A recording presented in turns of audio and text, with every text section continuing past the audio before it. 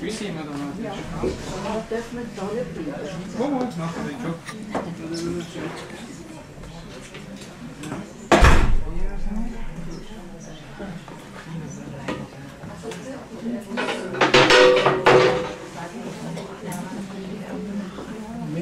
Ich habe gedacht, ich nehme noch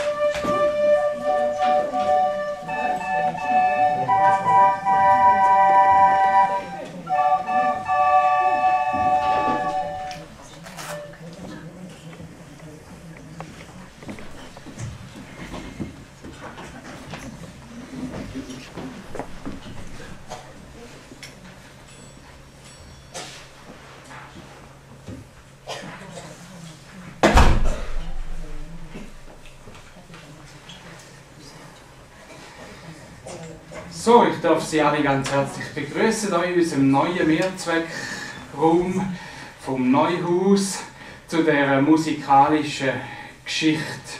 Schön, dass Sie alle hier angekommen sind und den Weg gefunden haben ins Neuhaus, um mit den Flötenschülerinnen und Schülern zusammen heute am Nachmittag die Geschichte geniessen. Wir sind alle hier versammelt, Bewohnerinnen, Bewohner, aber auch Gäste von außen und das freut mich ganz besonders und ich hoffe, Sie können die Atmosphäre hier bei uns mit den schönen Liedern oder Musikstücken und der Geschichte auch geniessen.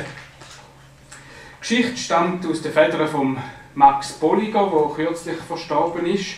Der Schweizer Autor, der verschiedene Kinder- und auch Erwachsenengeschichten geschrieben hat. Und Rosi Ammann hat die Geschichte vertont. Es ist Geschichte vom Prinz Heinrich. Ich werde jeweils den Erzähler machen, also Ihnen die Geschichte vorlesen. Äh, und die Vertonung hören wir dann ab der Bühne.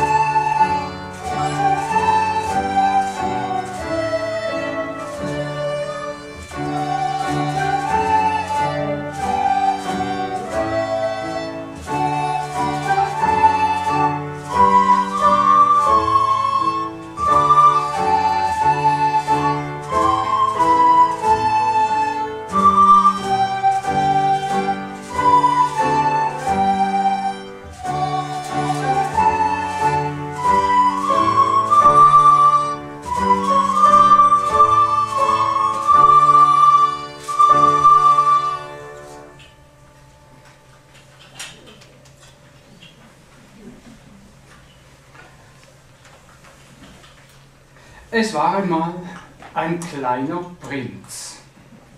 Wie viele Prinzen wohnte er in einem Schloss mitten in einem Park. Er hieß Heinrich.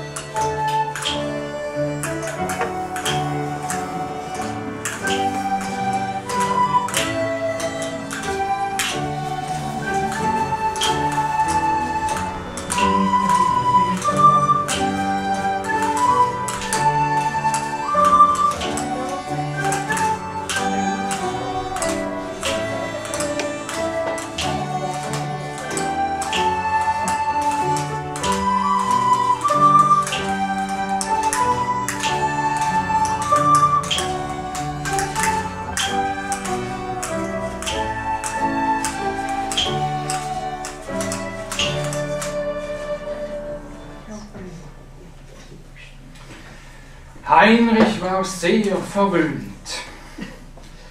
Er bekam alles, was er sich wünschte.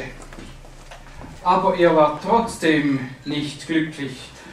Er lachte nie und er weinte nie.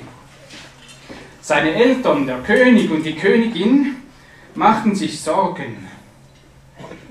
Was fehlt dir denn? fragten sie. Heinrich antwortete, ich habe alle Spielsachen, die es auf der Welt gibt. Was mir noch fehlt, ist ein Luftballon. Wenn es weiter nichts ist als das, sagten der König und die Königin und schenkten dem kleinen Prinzen einen Luftballon.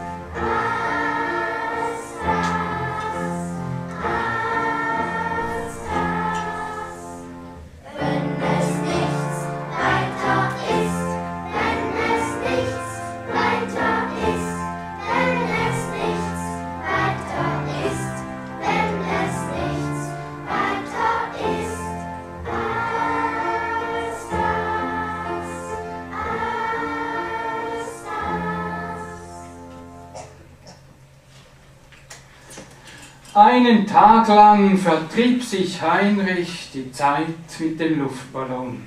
Er füllte ihn mit heißer Luft und schwebte damit über dem Schloss wie eine Wolke.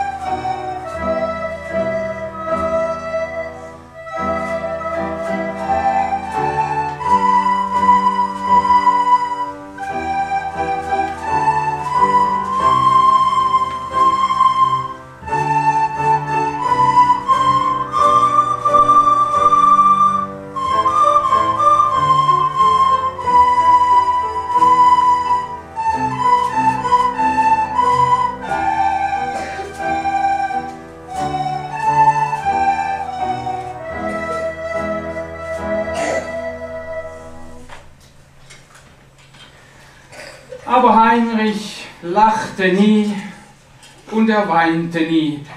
Es war alles wie vorher. Der König und die Königin machten sich Sorgen.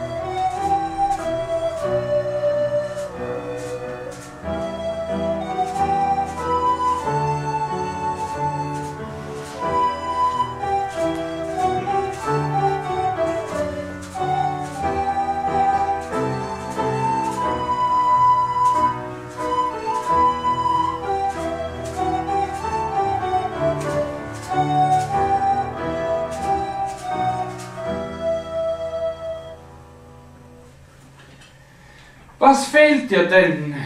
fragten der König und die Königin, und Heinrich antwortete, ich habe alle Spielsachen, die es auf der Welt gibt, und ich habe einen Luftballon.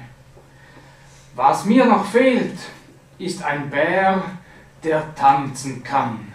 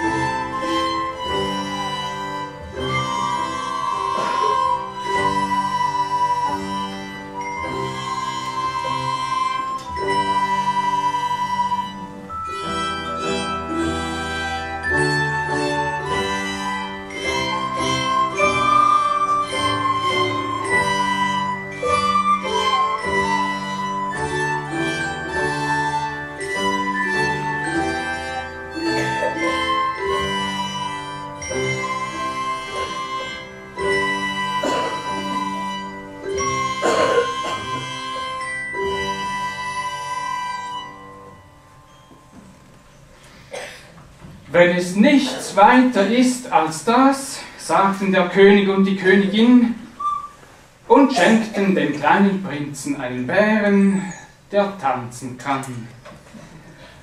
Einen Tag lang vertrieb sich Heinrich die Zeit mit dem Bären. Er musste tanzen und an der Leine gehen.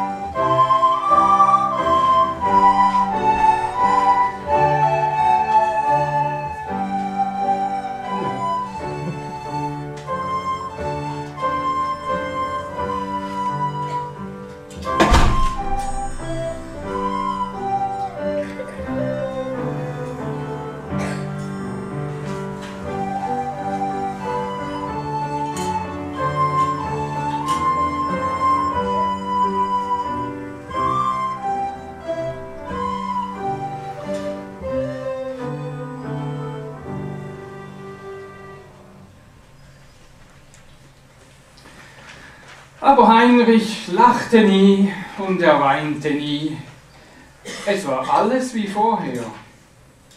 Der König und die Königin machten sich Sorgen. Was fehlt dir denn? fragten sie. Und Heinrich antwortete, ich habe alle Spielsachen, die es auf der Welt gibt. Ich habe einen Luftballon, einen Bären, der tanzen kann. Was mir noch fehlt, ist ein Regiment Soldaten.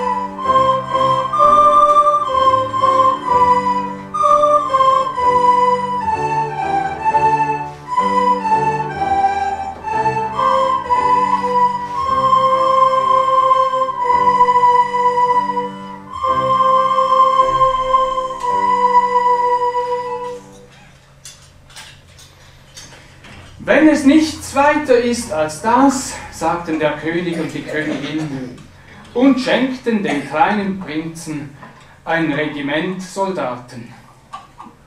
Einen Tag lang vertrieb sich Heinrich die Zeit mit dem Regiment Soldaten. Er ließ sie trommeln, reiten und marschieren.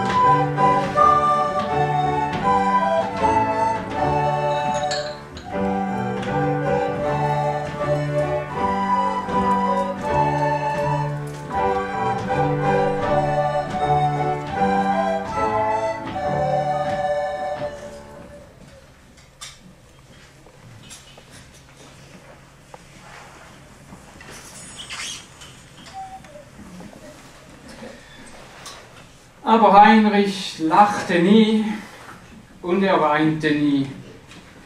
Es war alles wie vorher. Doch eines Tages entdeckte der kleine Prinz einen kleinen Jungen, Es war der Sohn des Schlossgärtners. Der saß vor dem Haus seiner Eltern und spielte mit einem Kaninchen. Er schmiegte es sich in den Arm, er streichelte es und gab ihm Löwenzahnblätter zu essen.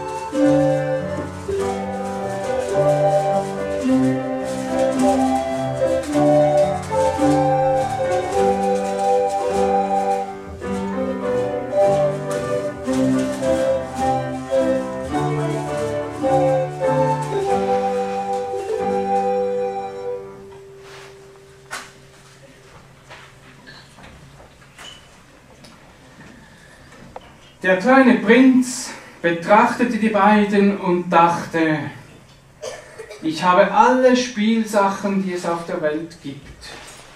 Ich habe einen Luftballon, ich habe einen Bären, der tanzen kann, und ich habe ein Regiment Soldaten. Was mir noch fehlt, ist ein Kaninchen, das sich in meinen Arm schmiegt, das ich streicheln und dem ich Löwenzahnblätter geben kann. Gib mir dein Kaninchen, sagte Heinrich zu dem Jungen.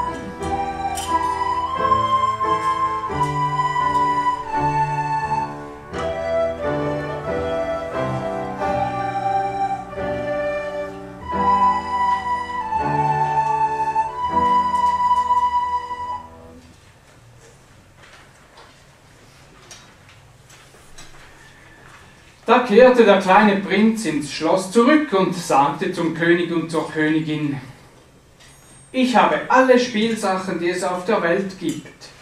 Ich habe einen Luftballon, ich habe einen Bären, der tanzen kann, und ich habe ein Regiment Soldaten.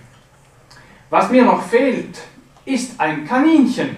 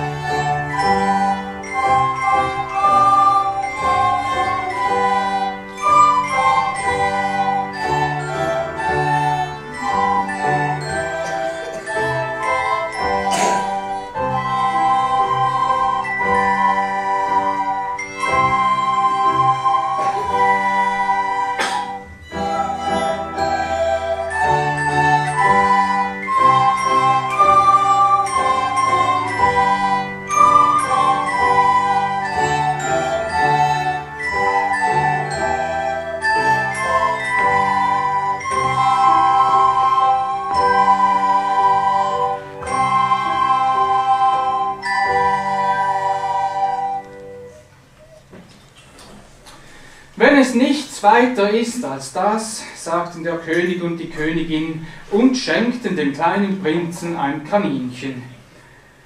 Einen Tag lang vertrieb sich Heinrich die Zeit mit dem Kaninchen.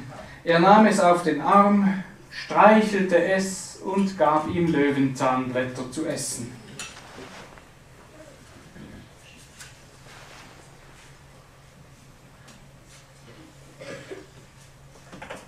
Aber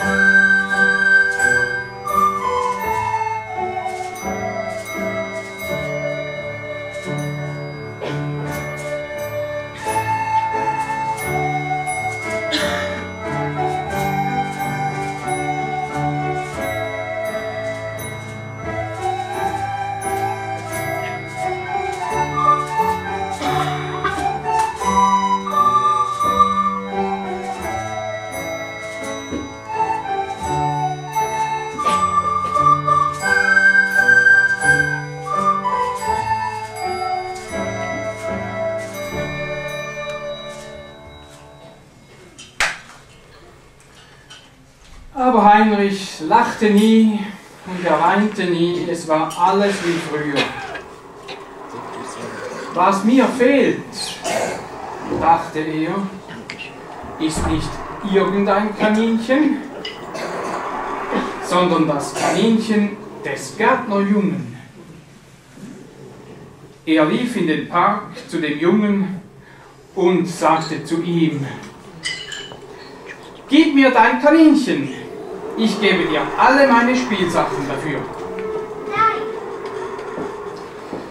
Gib mir dein Kaninchen, ich gebe dir alle meine Spielsachen und einen Luftballon dafür. Gib mir dein Kaninchen, ich gebe dir alle meine Spielsachen, einen Luftballon und einen Bären, der tanzen kann.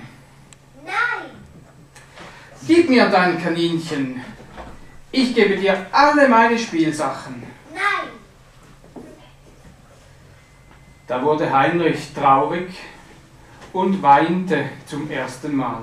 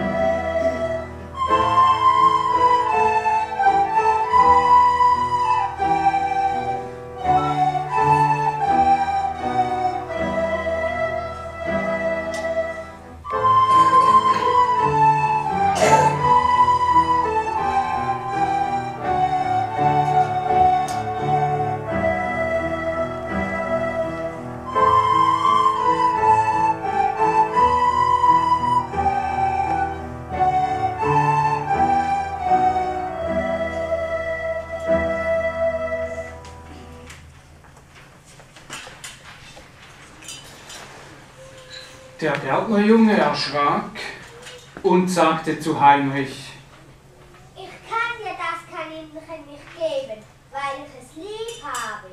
Aber wir können zusammen mit ihm spielen. und sie spielten den ganzen Tag und waren glücklich, der kleine Prinz und der Gärtnerjunge zusammen mit dem Kaninchen.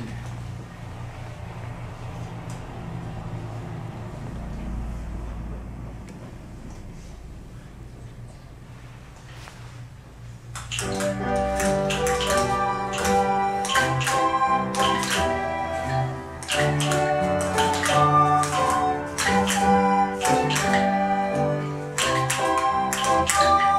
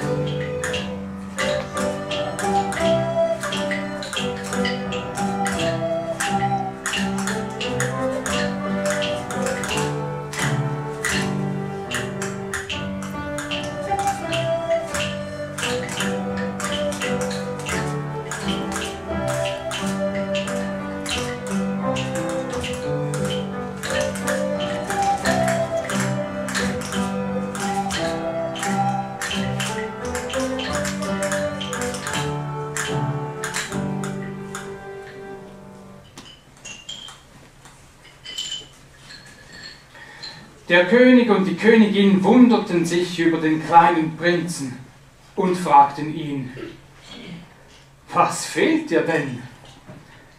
Heinrich dachte lange nach.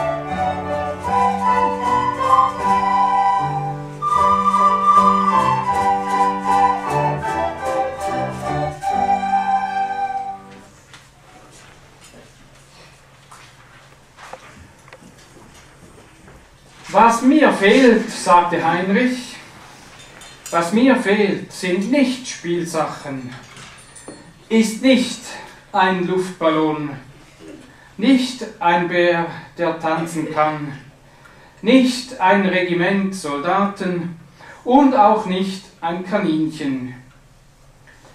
Was mir fehlt, ist jemand, mit dem ich spielen kann. Der König und die Königin waren betrübt. Und sie sagten zum kleinen Prinzen, einen Freund können wir dir nicht schenken. Den musst du dir selber suchen. Ich habe ihn gefunden, sagte Heinrich und lachte zum ersten Mal.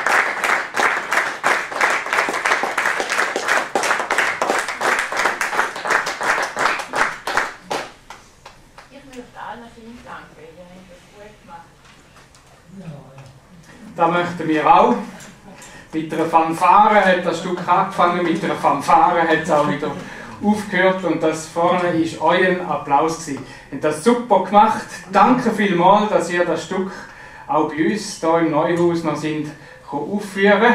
Danke möchte ich auch den beiden Leiterinnen. Vielleicht können wir auch mal noch schnell führen, dass man euch auch noch sieht. Weil ohne die beiden wäre das nicht Danke vielmals.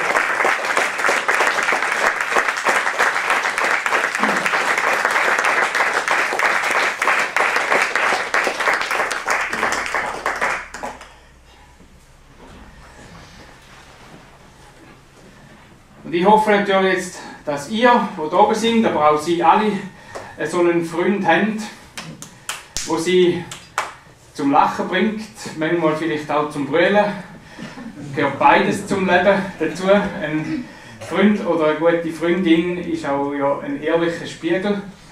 Und da braucht es manchmal dann beides. Auf alle Fälle eine Person, wo sie das Leben begleitet und ihnen eben mehr bedeutet als alle Spielsachen von der Welt und den Luftballon und den Bär, der tanzen kann und vor allem das Regiment Soldaten. Da, wo ein Freund oder eine gute Freundin im HD, da können einem über all diese Sachen nicht gehen. Die Geschichte und die Botschaft haben ihr uns heute Nachmittag hier ins Neuhaus gebracht und für das bedanken wir uns ganz herzlich. Ihr seid äh, nachher noch herzlich eingeladen, dann auch, um noch etwas und Trinken. Und Ihnen allen danke fürs Kommen und wünsche Ihnen noch einen schönen Nachmittag.